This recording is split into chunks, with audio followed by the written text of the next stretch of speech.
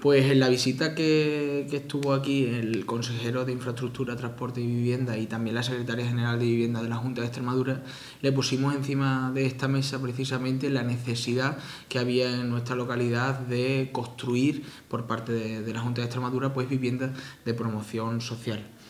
Eh, tal interés despertó en ellos esta inquietud que nosotros le hacíamos llegar que eh, nos dieron un plazo que finalizó este viernes, el día 10 de noviembre, para que le presentáramos suelos finalistas, tanto de Jerez, Brobales, Baluengo y La Bazana, donde poder construir esas viviendas.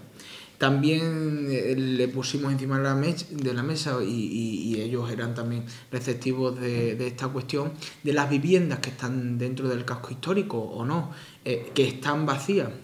y que ya no tienen una utilidad, pues a través de las inmobiliarias o detectándoselo a través de los servicios de aquí del ayuntamiento, pues pudiéramos, eh, tanto la Junta de Extremadura, eh, comprarlas para poder rehabilitarlas y darle eh, vida otra vez al casco histórico. Entonces nos hemos puesto en contacto con algunas de las agencias inmobiliarias de nuestra localidad, nos han pasado un listado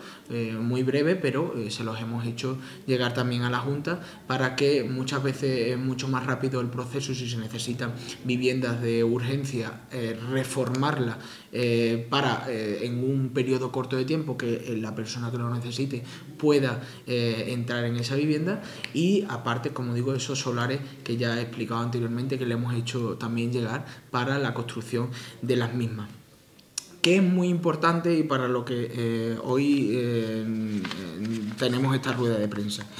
vamos a sacar una encuesta eh, a toda la población para todo aquel que quiera inscribirse en estas viviendas, en estas posibles viviendas de promoción pública que construya la Junta de Extremadura. Esto es como un sondeo para ver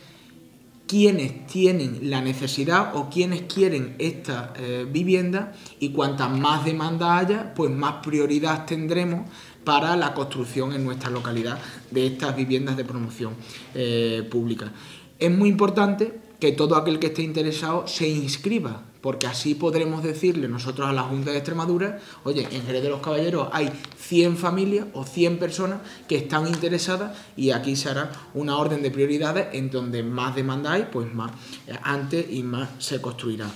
Eh, ¿Cómo podéis acceder a este formulario? Este formulario estará en un enlace a través de, las redes sociales, también en el tablón de anuncios y también en papel para aquel que quiera cogerlo en papel, abajo en centralita. Se le hará una copia, se rellena, te piden diferentes requisitos, pues por ejemplo, si ocupa eh, usted ahora una vivienda en régimen de alquiler, en caso afirmativo cuánto paga de renta, estas cuestiones que hay que resolver dentro del cuestionario para que ellos después valoren si... Eh, hay demanda para esas personas que tienen opción a obtener una vivienda de promoción social. Es